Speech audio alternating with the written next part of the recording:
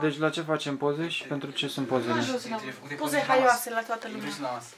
Serios? Da. se trezesc la 8 dimineața și sunt după, și sunt după somn și să facem poze la masă. Așa zic.